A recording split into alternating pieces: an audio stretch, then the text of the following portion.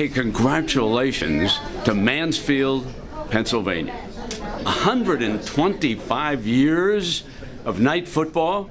Why, I was there to broadcast the first game.